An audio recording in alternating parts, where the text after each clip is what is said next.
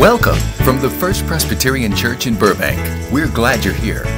Let's join the service now and hear the proclaiming of God's Word. Please turn with me to the Gospel of John, the eighth chapter, and we're going to be looking at verses 1 through 11.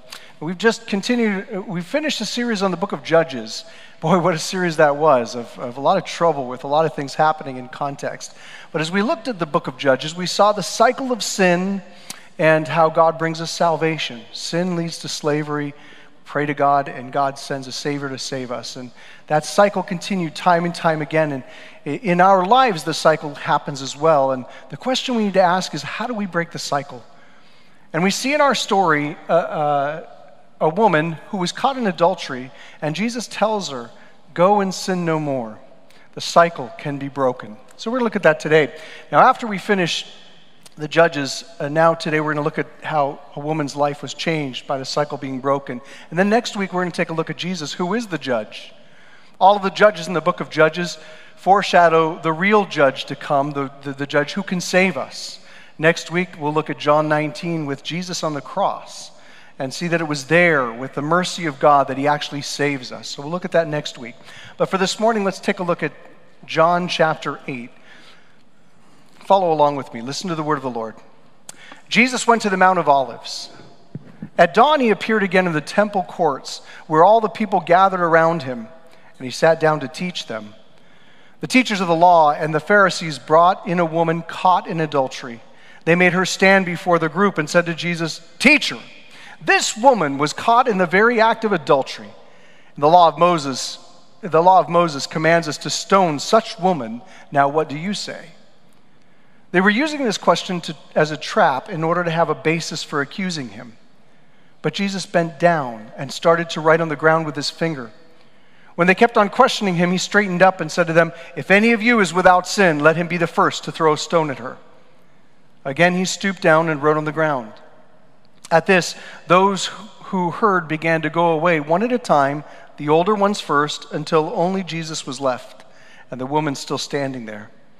Jesus straightened up and asked her, Woman, where are they? Has no one condemned you? No one, sir, she said. Then neither do I condemn you, Jesus declared. Go now and leave your life of sin. This is the word of the Lord. Thanks be to God.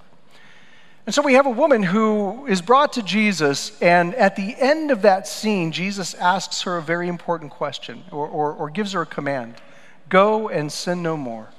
And she has a choice. What will she decide to do? We're not given the end of the story. We don't know what happened to this woman. One day, I suppose we will know, but we don't know for now.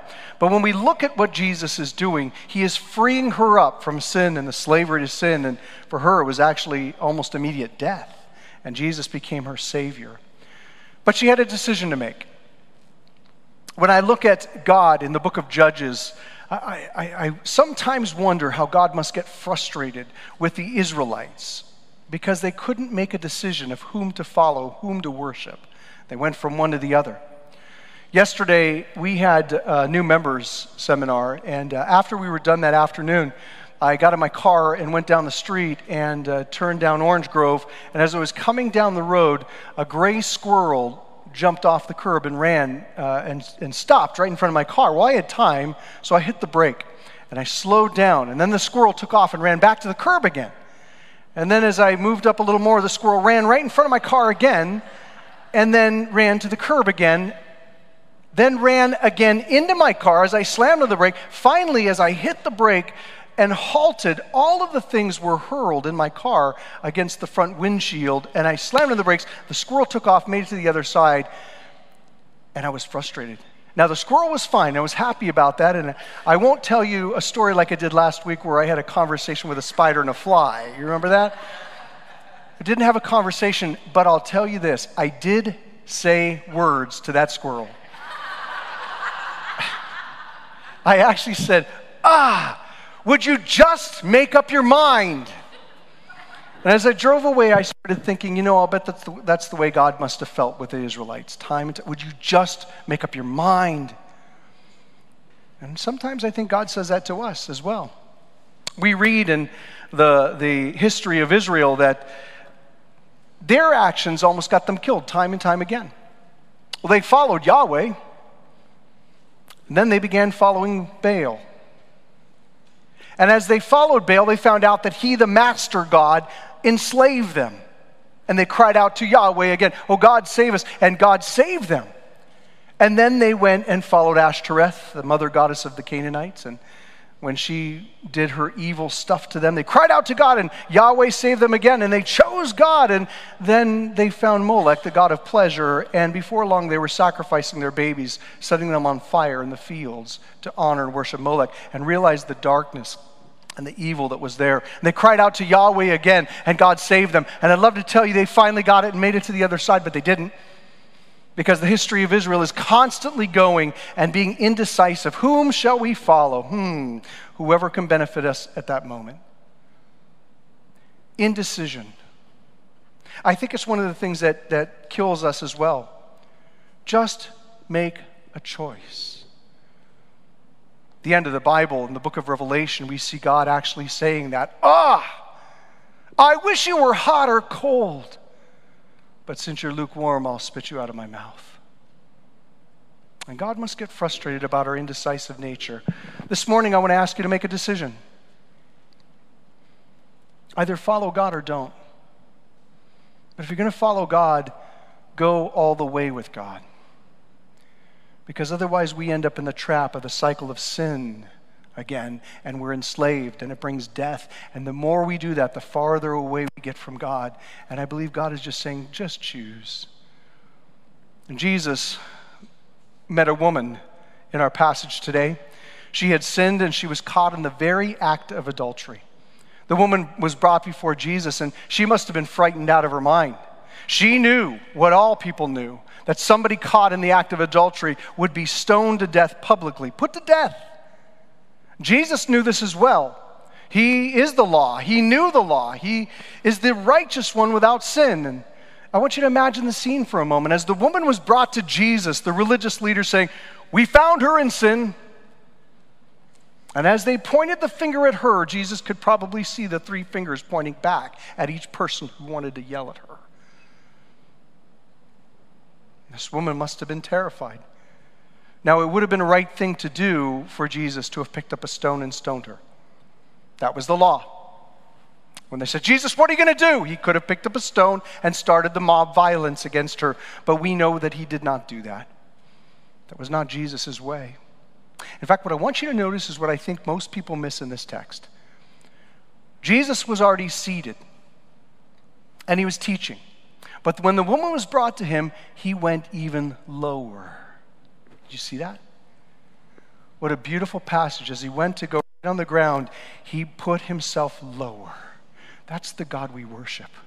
The God who came to earth, Jesus, the Alpha, the Omega, the King of all, the righteous Prince, the, the one who was and is and is to come, the, the glory of all, the angels worshiping him. He came to earth and became a poor person from Nazareth. God Almighty stooped low. And then when a sinner was brought to him, he stooped low to look in their face. I love what it says in the Psalms. The psalmist said, Psalm 3, verse 3 But you, Lord, are a shield around me, my glory, the one who lifts my head high. That's why Jesus came to take our downcast faces and to lift us up, the lifter of our heads. Don't be downcast. Look into the eyes of God and see the one who can judge all people, but instead gives them grace. Jesus bent down. The scriptures tell us that Jesus wrote on the ground with his finger. Now, we don't know what he wrote, but there are many possibilities, and I'd like to look at some of the possibilities this morning. What did Jesus write? I don't believe the Holy Spirit told us what Jesus wrote for a reason, so that we would ask the question, what did he write? Whenever the Bible repeats something, it's the Bible's way of underlining that point. And here we see Jesus twice writing on the ground. So, what did he write? Well, first, in the context of the story, that's a good place to go. Trying to figure something out in the Bible, read before what happens. In chapter 7, we find Jesus who went to the temple. And as he's there at the temple on the day, the last day of that feast, as the priests poured out the water upon the sacrifice uh, to remember the wilderness experience where water came from a rock. As they poured out the water, that sacrifice, they'd done that every year. The water gushed forth out of the temple through the cracks of the rock into the public arena, and the people in the crowds cheered at that. But at that particular moment, as Jesus came to the temple and the water gushed forth, just before the pilgrims sang their praises to God, Jesus said, Hey, if you're really thirsty, Come to me. And by doing so, the religious leaders were furious at Jesus. How dare he interrupt worship to God? The claim of Jesus was simply that he is the fountain of God's water. And this rubbed the religious re- leaders the wrong way. You, you want to rub religious leaders the wrong way, interrupt church service after they've put a lot of work into it, right? But you know, as we've said it before, if Jesus ever wants to interrupt this worship service, you have free reign. This is for you, Jesus. And we will listen to you, not to our traditions or our ways of thinking about the. We'll listen to you, Jesus. Well, they were upset at Jesus because he interrupted their worship service. It is possible that Jesus, as he sat there, knowing that they had rejected him as the fountain of life, which he is, it is possible that on his finger, with his finger writing on the sand, he may have written the words of Jeremiah. Listen to Jeremiah's words. The prophet said in chapter 17, verse 13, Lord, you are the hope of Israel. All who forsake you will be put to shame. Those who turn away from you will be written in the dust because they have forsaken the Lord, the spring of living water. Jesus may have written that. All night long. Because Jesus had made the claim he was the living water, the religious leaders fumed with anger. They filled with hatred toward this carpenter from Nazareth, this poor man who somehow had the attention of all the crowds, and they were furious at him. They were trained, they were religious, they had their long garments, they were authorized by the temple. A carpenter from Nazareth, who is he to tell us what to do? And as they began to plot in their minds, evil took over their hearts as it had done time and time again. And they came up with a way to trap Jesus. Let's find a woman caught in adultery. How do you do that? It might be that they had planted a man to tempt a woman. Perhaps a man raped a woman. We don't know, but how else could somebody be caught in the very act of adultery? And Jesus saw right through this. As they pushed the woman toward him, Jesus, bending down, I think was furious because he knew what the scripture said. Where was the man? If you're caught in the very act, you'll get both of them. And Jesus was furious, I believe. It would not be very long before most people in Judaism in the first century would reject their religious leaders too. They were tired of the manipulation. They were tired of going to worship God and finding that they were being ripped off through the money changers. And then Jesus came and he threw them out. They were tired of the hypocrisy of religion. They were tired of those who, who played the game of being better than others. And then they saw Jesus and he was refreshing. And they said, That's what we want.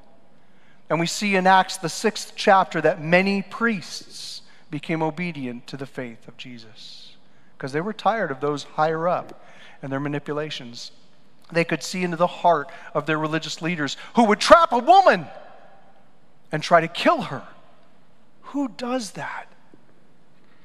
As soon as the poor woman was caught, she was thrown in prison. The whole night she waited in chains for her death. She knew that the act of adultery meant being stoned to death. And by this time, by the time she was taken to Jesus and thrown to him, she would have wept many hours long the night before, perhaps losing all hope. I have a suspicion that Jesus looked at her and grew very angry because he's the protector of people. And he probably, well, let me just say this. If you need someone for you, Jesus is for you. He will protect you. He's your good shepherd. He will fight any evil or any danger that comes your way. That's Jesus. Now, Jeremiah's text may have been what Jesus wrote. We don't know. There's another possibility of what he might have written in the sand. There was a scripture from the prophet Hosea in which God grew tired of men blaming women for sexual sins. And that was exactly what was happening during Hosea, the prophet's days. The men were condemning the prostitutes, yet making the women be prostitutes. Hosea 4, verses 13 and 14 says, They sacrifice on the mountaintops and they burn offerings on the hills under oak, poplar, and terebinth where the shade is pleasant. But your daughters are turned to prostitution and your daughters in law to adultery. I will not punish your daughters when they, return, when they turn to prostitution, nor your daughters in law when they commit adultery, because the men themselves consort with harlots and sacrifice with shrine prostitutes. A people without understanding will come to ruin. Jesus was angry at those men, I believe. How dare you put this woman in that position? I think Jesus felt that their crimes were far worse than what the woman had done. There's a third possibility Jeremiah, Hosea. He, Jesus may have written the Ten Commandments. It's interesting to me that we are told in Exodus 31 that the Ten Commandments were written by the finger of God on the tablets, on the rock. We learn later on that, that the, God who appears to Moses is Jesus himself, before he's called Jesus, the Word of God. And now we find Jesus sitting there teaching the people and writing down to and bending down to write with his finger on the ground. Think about that image. The religious leaders must have seen that image and think, why is he writing on the ground? And it would have sparked within them the, the finger of God writing the law. What Jesus would point out is that we've all broken the law of God, all of us. The Ten Commandments, when was the last time you went through them? Do You see where you broke them? Here's what we find out with the Ten Commandments they're like a chain. You break one, you fall. I am the Lord your God. You shall have no other gods before me. You shall not make a graven image. Do we have other gods? Money? Power? Position? You shall not take the name of the Lord in vain. You ever misused God's name? Remember the Sabbath and keep it holy. I'm guilty of that. God commands a day of rest, one day a week. Have you ever worked seven days in a row, or eight, or nine, or ten? Honor your father and mother. Have you kept this? You shall not murder. Well, I've never murdered anyone. Wait a minute. We find out in the New Testament, as Jesus indicates, whenever we take the breath from someone, we've murdered them. Whenever we do something to someone that makes them go, oh, we have murdered their life. Thou shalt not murder. You shall not commit adultery. Okay, I've not broken this command. Wait a minute, Jesus. You told me in the Gospels that whenever you look at another person lustfully, you commit adultery in their heart, in your hearts. You shall not steal. You shall not bear false witness against your neighbor gossip, slander. Whenever we take a person who is made in the image of God and we somehow bring their name lower, we've broken that command. You shall not covet your neighbor's wife. No problem there. You should see my neighbor's wife. Not a problem. I'm just kidding. I, I used that at the first service and they laughed too. But then Jesus tells us Jesus tells us that coveting somebody's wife means everyone is your neighbor. You shall not covet anything that belongs to your neighbor. When I see the Ten Commandments, I look at them all and I say, God, I think I've broken every one of them somehow. It's not about what chain I broke, I broke them all. Perhaps you have as well. You see the effect of when Jesus says Whoever's without sin cast the first stone. No wonder they all walked away. Maybe Jesus wrote the sentence of the law that said not to commit adultery. This occurs three times in the Torah. It's written once in the Ten Commandments in Exodus 20. We find it in Leviticus 20, verse 10. It says, If a man commits adultery with another man's wife, the, with the wife of his neighbor, both the adulterer and the adulteress are put to death. Both. You hear the word both? Deuteronomy 22, verse 22 says, If a man is found sleeping with another man's wife, both the man who slept with her and the woman must die. You must purge the evil from Israel. The point is, that's the law these religious leaders were bringing to Jesus, and they could not see the hypocrisy of what they were doing. Where's the man? I can imagine Jesus bending low. I can imagine him saying in his mind, Do you dare to set up this woman as a trap for sin?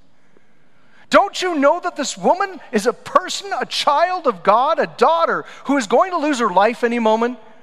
Are you mad? Do you burn with hatred so much for the sinners that you can't recognize your own sin? And we're all sinners. But we're not bad people. When we hold ourselves to the standard of other people, we're not too bad. The standard is God, and none of us will make it. Even the lawgiver Moses couldn't make it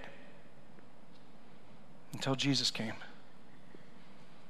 Let any of you, Jesus said, who is without sin be the first to throw a stone. And notice what he says after saying those words. It is a very dangerous moment. Let any of you who is without sin cast the first stone. And it says, and then Jesus stooped down to write in the sand again. That was very dangerous because at any second, Jesus could have felt the rocks being thrown or be hit himself but there was silence.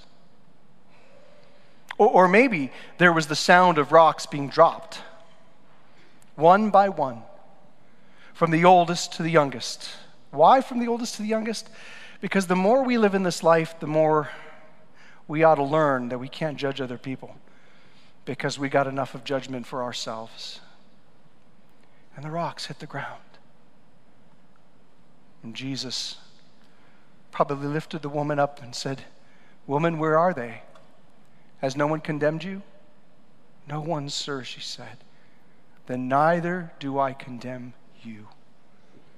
Now, this is a very telling dialogue. Let me tell you what it means to a Jewish person in his day. Jesus was not saying, Hey, you didn't sin, no problem, we'll just sweep it under the carpet. That's not what he's saying. Jesus is saying, according to the law, there must be two or three witnesses testifying to the crime. And when he says, Where are your accusers? They're gone, she said. We have no case. This is what I love about Jesus. He knows our sins, He deals with our sins. And next week we'll see Him on the cross bearing our sins. Oh, I can hardly say that.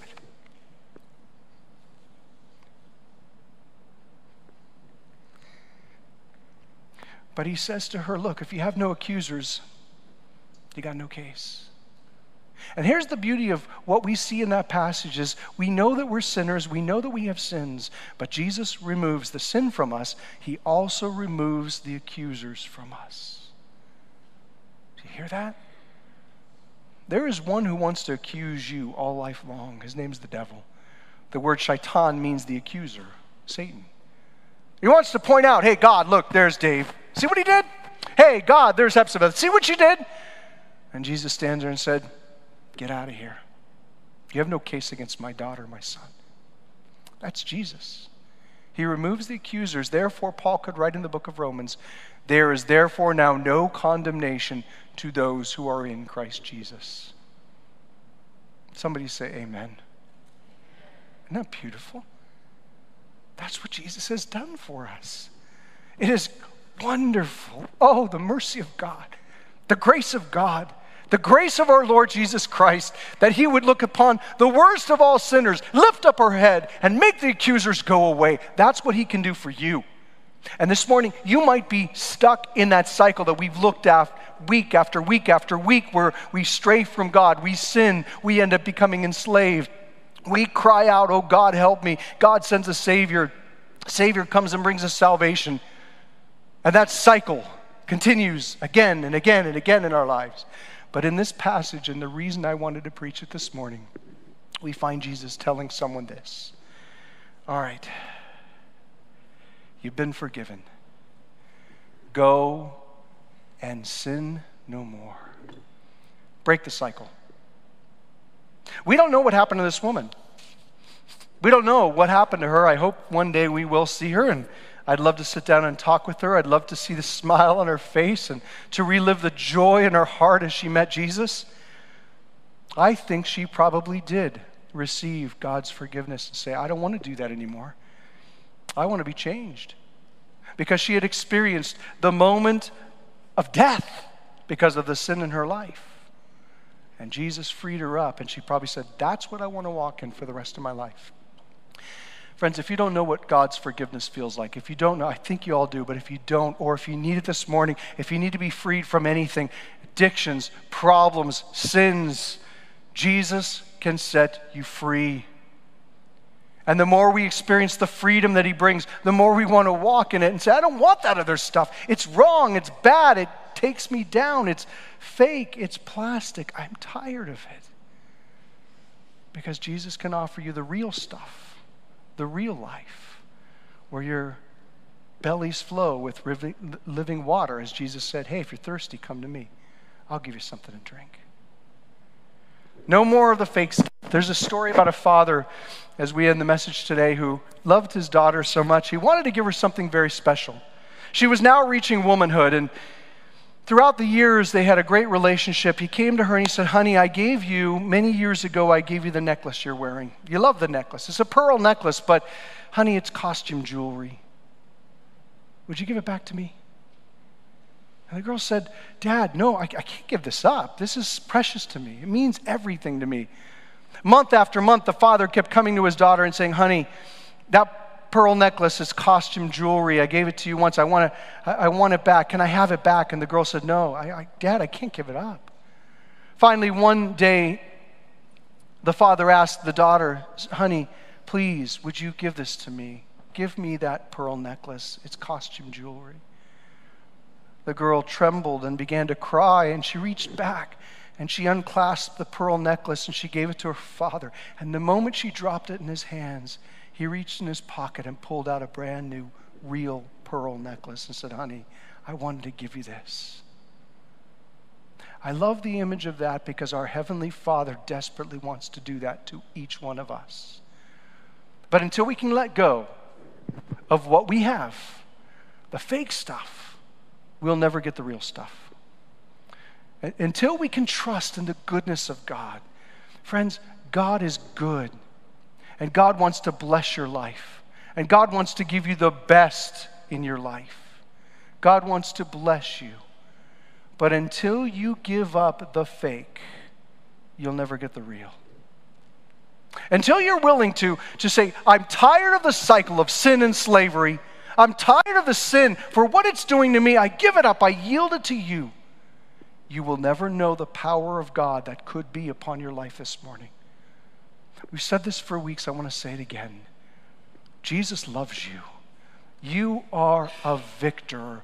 No longer are you to be a victim. Amen? That's the power of God working within you.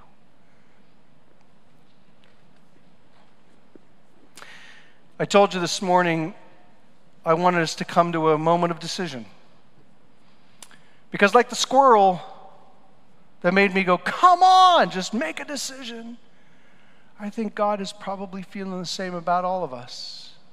Choose this day whom you will serve.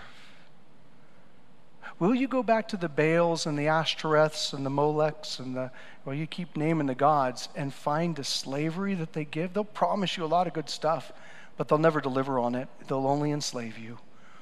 Or will you go and choose to be with God? And God wants to bless you because God is good and you are his daughter and you are his son. Go.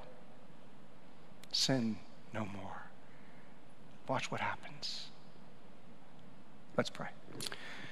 Oh God, we thank you so much for breaking the cycle of sin and slavery in our lives. And sometimes we keep choosing the false gods of this world who promise us things and always enslave us. And we're tired of the plastic stuff. Give us the good stuff. Jesus, you offer it to us. Help us to let go of those things that are, that are hurting our relationship with you. And help us to realize and actualize the victory that could be ours through faith in Jesus Christ. Holy Spirit, I pray this morning for, for all of us that we would decide that, that we would decide to follow your ways and experience your joy. Thank you, Lord Jesus, for your forgiveness and love. Thank you that you are for us. You are the lifter of our heads. And you got incredible things if we'll just yield our lives to you. Bless us so we can glorify you in Jesus' name. Amen. We hope this service has been a blessing to you. We also invite you to join us to worship in person on Sunday mornings. We have services at 9:15 and 11:15. Thank you for watching, and may God bless you.